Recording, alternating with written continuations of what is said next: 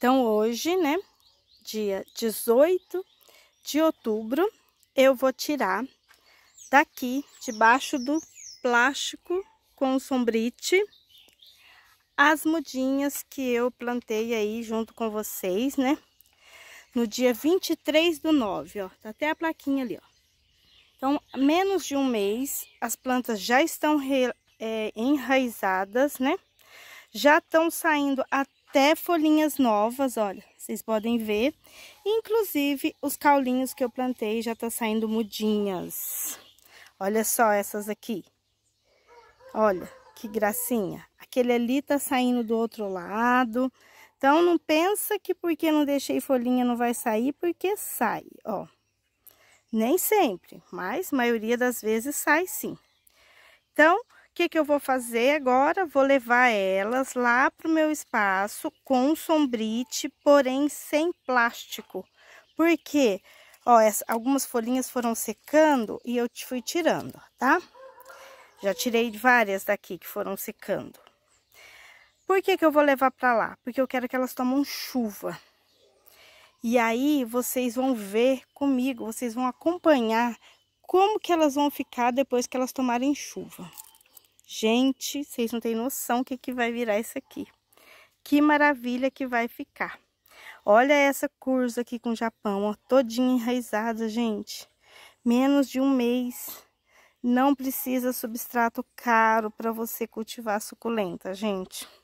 Vocês viram, né? O substrato que eu fiz aí, que é o meu aqui, sem frescura, terra e carvão. Dá para ver aqui, ó.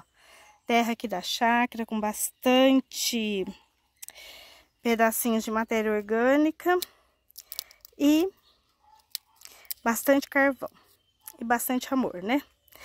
Eu ainda não fiz adubação nelas, né? Vocês viram que eu não fiz nada, tá aqui, ó, sem adubação. Eu vou esperar elas tomarem a primeira chuva aí e depois eu vou vir com a, com a adubação nela, que é o basacote que eu uso, né? Então, vou levar pra lá Daqui uns dias eu volto, porque aí esse vídeo vai tendo continuação. Não vou terminar ele hoje. Essas aqui também eu plantei com vocês, ó. Foi dia 3 do 10 que eu plantei essas aqui, 3 e 4 do 10. Minto, eu não acho que plantei com vocês, plantei. Plantei sim porque eu lembro dos vasinhos. E elas já estão ganhando raízes. Olha, vou mostrar para vocês a cancan. Olha só. Olha só. Isso aqui faz exatamente 15 dias. Então, aqui eu não ponho enraizar em outra coisa, né? Muita gente coloca aí em outras coisas, pó de coco, alguma coisa assim, eu não coloco. Eu já coloco direto aqui no substrato, que já também já fica pronto pra mim, ó. Essa aqui também já tem raiz, ó. Não dá nem pra puxar. A colibra, vou mostrar pra vocês. Olha a colibra, gente. Olha quanta raiz. E olha aqui, plantada no dia 3 do 10. Eu vou ajeitar ela aqui, né, de novo. E de vez em quando eu venho aqui e dou uma molhadinha nelas para elas ir se hidratando, né? Para elas não ficar tão secas, que senão ela judia muito delas. Uma que ainda não tem muita é, raiz é Afterglow. Mas porque ela estava muito grande. Mas já está começando a se soltar. Eu não vou mexer nela para não ficar, né? Porque a gente não pode ficar mexendo. Meu esposo mesmo não gosta. Ele fala, fala, não pode ficar mexendo, ela tá começando a enraizar, deixa ela quietinha. Mas eu só queria mostrar para vocês, né? Mas olha para vocês ver como que tá Afterglow, ó, o miolinho dela, ó. Tá se abrindo, então é sinal que ela já está enraizando lá embaixo. Olha a Fury Variegata também, já tá com raiz. Não vou mexer na raiz. Essa daqui é a Majoripoque. Ai, meu Deus, que linda. Então, Vou levá-las para lá agora e vou mostrar para vocês onde que elas vão ficar. Então, já faz alguns dias que eu trouxe elas para cá, ó. Coloquei aqui na bancada, né? Que é de arame, né? Que vocês sabem que fica aqui, ó, debaixo do sombrite vermelho. Só que ainda não tinha chovido. Hoje deu uma chuvinha, o vídeo vai ficar até um pouco escuro, né? Mas eu vim aqui gravar com vocês, é 5 horas ainda. Mas, como tá chovendo, né? Agora deu uma trégua. Parece que vai chover mais, né? Assim a gente espera. Aí eu vou mostrar pra vocês como que elas ficaram depois da chuvinha, ó. Parece que elas ficam até mais alegres, né? E vou fazer adubação nelas, ó. Esse aqui é o basacote, né? Que a gente usa. Essas bolinhas são de liberação lenta, né? É o 16, 8, 12, mais 2. Já mostrei aí em outros vídeos. Então, a gente pega aqui mais ou menos umas 10 bolinhas e vem aqui e coloca do ladinho assim da plantinha, em todas elas. Aí, conforme vai chovendo ou você vai regando, vai liberando os nutrientes que ela precisa, precisa para cre crescer bem linda aí. No meu substrato eu já coloquei um pouco de esterco de galinha, né? Então as raízes já estão nutridas, né? E agora eu coloco mais esse aqui, que é mais alguns nutrientes que ela precisa para crescer bem linda. E eu vou aproveitar e vou atualizar aqui para vocês um pouco como que tá a bancada, né? O que que eu fiz aqui para liberar um pouco de espaço. Não sei se eu vou conseguir, gente, porque olha a chuva de novo. Que delícia! Olha, escuta a chuva. A adubação vai ser na hora certa, porque vai chover em cima e já vai liberar os nutrientes para elas. Eu tirei algumas plantas daqui de cima, ó. Meu esposo tirou, né, o Paulinho, e colocou aqui, ó. Colocou esses blocos aqui no chão e nós colocamos elas aqui para dar um pouco mais de espaço. E olha para vocês ver, nem sentiu, né? Porque as dessas, essas aqui eu trouxe para cá, ó, para essa parte aqui, ó. Essa parte aqui que pega um pouquinho de chuva, né? Mas já pega a parte do plástico. E olha quantas folhinhas eu tirei. Olha só quantas folhas secas eu tirei delas. E ainda tem mais para tirar. Elas estão dando bastante haste floral. Mas mesmo assim, agora eu vou tirar algumas, né? Porque agora entra a lua cheia e eu vou tirar algumas para decapitar.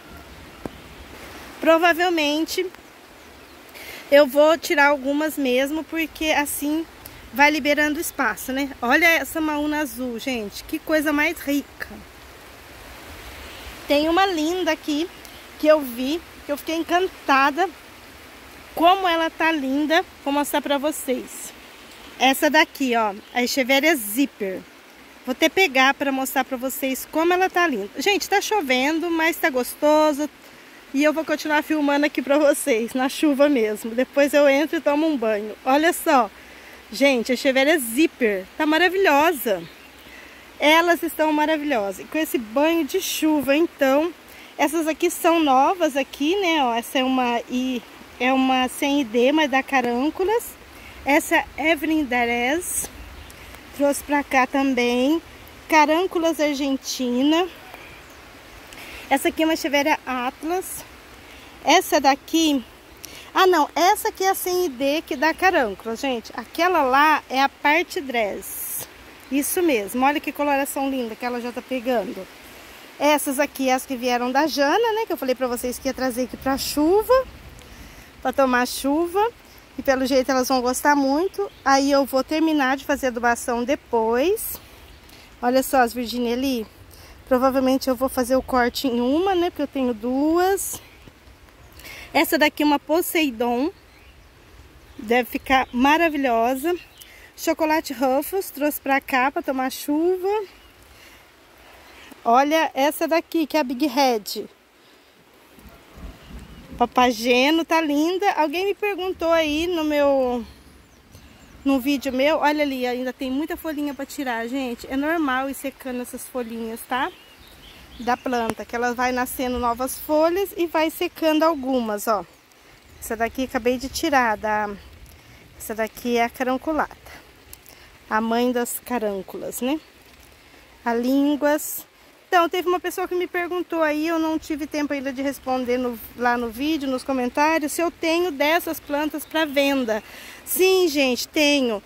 Tenho sim, tem algumas aqui que tem. Tem Virginia Lee no catálogo, é, tem Papageno, tem Rendrops.